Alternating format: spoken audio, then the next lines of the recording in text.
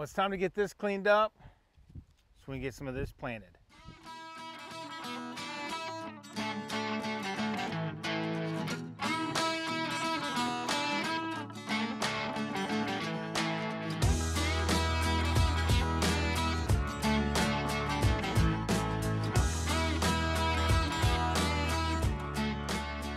So if you've seen one of our last videos where uh, last weekend we got hit with a frost or almost a freeze and it killed a lot of our uh, vegetable garden. So we're trying to get it cleaned up and we're gonna plant some garlic today. So come along and we'll get this cleaned up and show you how to plant garlic. So one of our first things we're gonna do is we're gonna get all this stuff. The There was some grass that was just laying around here from when I did some weed eating and plus all the other vegetables we pulled out and just laid on this black mat. We're gonna put all these over in our compost. We got some other plants over here that we need to put in our compost pile. Once we get all that done, we're gonna go through and empty out all of our containers that have worked really, really well for us this year, but they have great super soil in them. So we're gonna come back and fill in at least the bed that we're gonna put the okra, uh, not the okra in, that had the okra, uh, this one, and then where the tomatoes were, uh, we lost a lot of dirt when we're pulling up the tomatoes. And I think after that, we'll be good to go to, to plant some garlic. So we just have to get busy. Stop talking.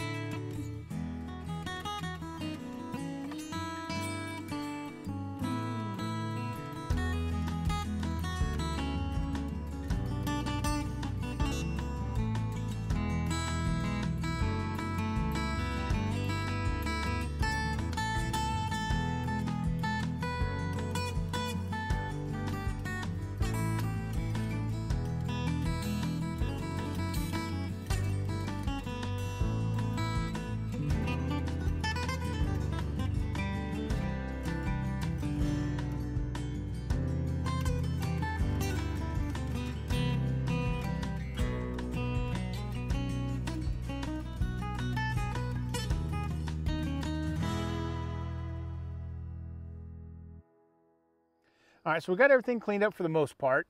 It's not perfect, but it's good enough for now. We got all of the dirt that we needed to move. We got some in here and some other beds. So now it's time to plant the garlic. We have two different types of garlic today, and I have one more that I'm waiting on to come in. That's a that's going to be like a, I think it's called elephant ear, and that's a really big clove garlic. And my dad grew that this year, and he said he loved it. So hopefully we get some of that. I like to get some huge garlic because we use garlic in everything. So but I got two different types. Both of them are Italian something. And I have no, this is Italian Luciano. That sounds right to me. And then uh, early Italian. I got these from the Burpee website, and both of these say they grow well in the south. And since we live pretty close to the south, they should grow pretty well for us. All right, so you take the, the whole bulb, and then as you can see, there's different cloves kind of sticking out. And really all you're gonna need to do is I'm just going to pull those off and just kind of stick them in, on here for, for now just to break these up. So all I'm doing is just trying to get the, the cloves pulled apart. You don't want to strip all of the outside layer of the clove. You just want to kind of break them apart. And if there's any little ones like this one, that's just going to go inside, get cleaned up and, and cooked with.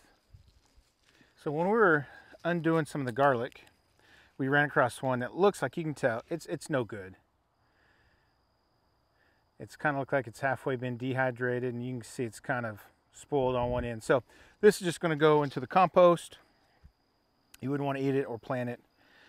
But that's really all you have to do with the bulbs. And then once you get all the cloves broke up, then we're going to plant them and let's show you what we're going to do with that. All right, so on the uh, garlic clove, there's a bottom, that's where the roots are going to be growing out of. Then you have a top, and that's where the green leafy stuff will be coming out. So you're going to want to plant it in this orientation where this is kind of pointing up and this is pointing down. And you want to do it about knuckle deep.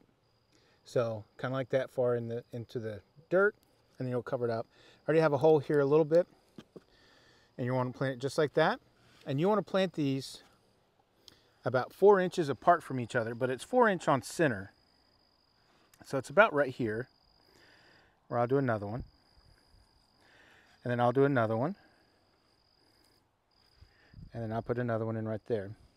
And then what I'll do is I'll move up four inches again. And then once we come back in, we'll put one in the middle, like about right there. So that doubles up your amount of garlic that you can put in to your raised bed. So if you're worried about uh, space concerns and those kind of things, you should have plenty of room if you do this. And um, we didn't have any problems with it last year.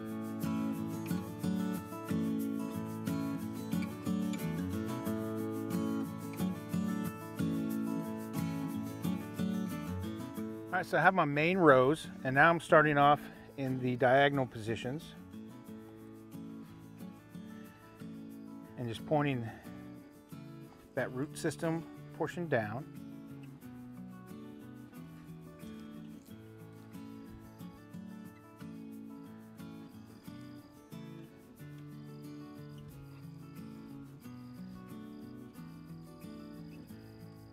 Just like that.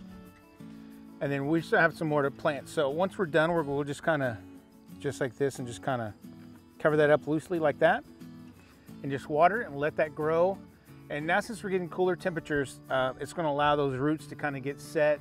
And then over winter, when it starts getting really cold, we'll actually put some some mulch over this, some probably some old goat bedding that we have. We can go over this. It's cold manure for it. So that can go over that and it'll stay like that all winter.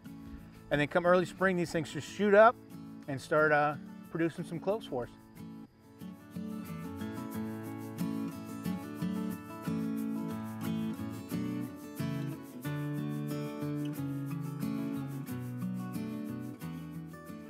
Well, folks, we've got all of our garlic planted that we have right now. Like I said earlier, we have some more coming. So once the beets come up, we'll plant all of that here. So this whole bed will be nothing but garlic.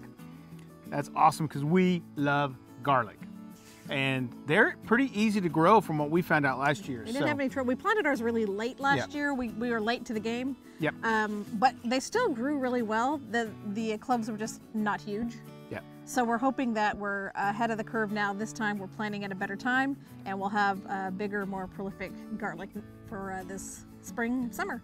Yeah, and, and, and I think these are soft neck cloves or garlic. So even when we harvest them, maybe we can braid them and store them that way and uh, make yeah. them look all pretty for you. You can braid them. I was going to say, do you know how to braid? No. Okay, I'll braid them. That sounds fair. Yeah, I, I, I braid this these two hairs together right here. Yeah, come on. I don't braid.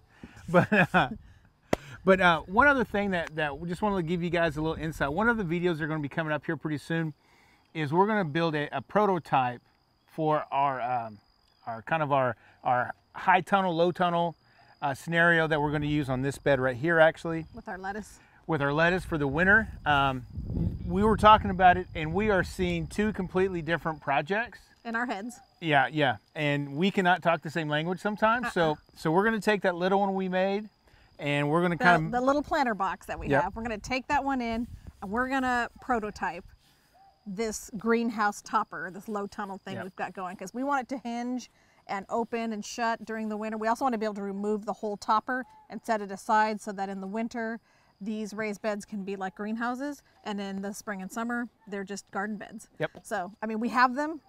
It, it seems like a good a good thing to do, but yeah. again, like I said, we don't always speak the same language on projects, so yeah. oftentimes it resorts to someone fashioning a prototype out of paper. So.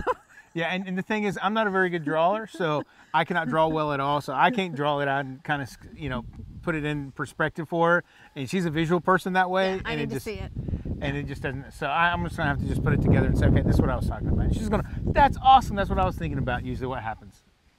Yeah, we're, we're, find out we're usually on, more on the same page than we realize. We're just not talking the same language. I- Did you guys have that problem? Anybody else? Is it just us? Is it just us? I doubt it's just us. So I think it's good though because it, it makes us really talk through and work through the whole project. We find the faults oftentimes before we get started, or in the prototyping we find the faults. So I think it's not a bad thing. Yeah, so coming up here pretty soon, you'll see that video. And of course, if you haven't seen us on Facebook or Instagram, those links will be down below. Every Friday night, we have a live stream at 7 p.m. Central Time, so come join that. Uh, we have great times, good laughs, and uh, have some great fellowship with everybody out there. For sure. And from our homestead to yours, have a blessed day, and we'll catch you on the next video. Bye. Bye.